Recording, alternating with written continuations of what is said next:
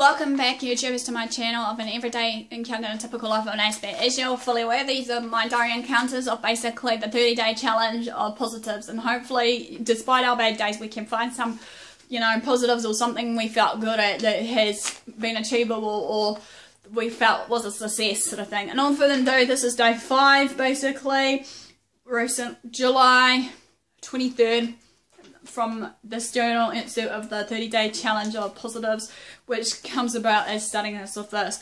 I've just recently sent my application form alongside with my applications to Sunday Star Times, as I mentioned before in my last video, based on that short story essay composition. I'm going to have to see how we go, fingers crossed, even though, you know, it's a trial and error, you know, try as I may, you know, to get notice or not through this publishing or publisher office or whatever they call them, you know, just to get my book published, even though at this moment of time it's in the drafting and editing stage of basically placing it all in order before they do the cover for me.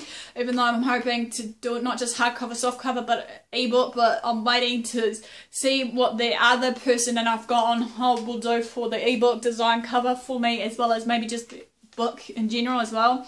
So thing, but I'll, like I said, I'll give you updates later on.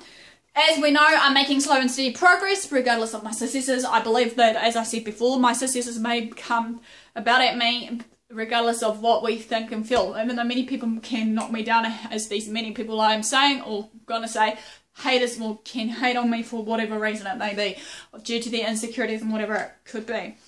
You know, um, making slow progress also, however, on the accounting papers, basically, modules to given despite going through as much as I can till my head hurts is what the one of the lecturers said, you know. You do it while your head, know, until your head hurts, you know, getting the numbers thing. I mean, it's in a good way though, however, not in a real bad way like as if I've got a little monkey pounce, pouncing around, or shall we say a group of monkeys that's doing the bang bang bang, you know, with the cymbals, the drums, and some other instrument inside my head, you know, playing musical instruments you know, it's just what I said. It's just having that right frame of mind of the attitude and thinking the power of the mind determines the outcome of what we can do as well as hopefully based on what we say. You know, that's how I look at it. Because how we look at it, how I look at it also, how we look at into ourselves with the right attitude and thinking in the present can determine what we do in the future. So what I'm often to do, what we do in the future will, in the, in the present will determine our future. You know, um, we make today, we, well, what we make, that's what I said, the choices we make also today will determine the future, you know. So, you know, some of the choices we make can affect others, some choices may affect us, it may make us have regrets why we didn't choose another decision or made another judgment call, you know, up like I do, pros and cons, many people think, Kerrin, why would you do that, you know, just go with it, you know, but that's just me. Also, just by being 530, already.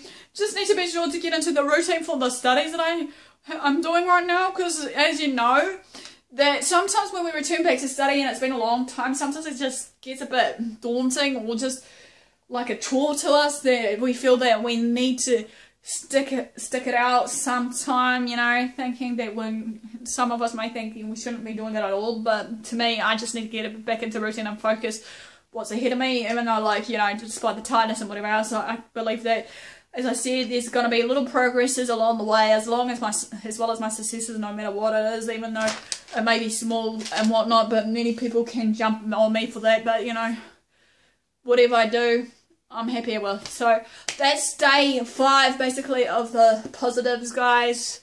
Thanks for watching. Like, comment, you know the drill sort of thing. For updates, you know, of what I'm up to. Sub to my channel. You know, hopefully, like I said, I'll challenge you all to get on board on this bandwagon and do this too of the 30 60 day challenge of positives. So thanks for watching again and have a great day. Until next time, I'll see you soon.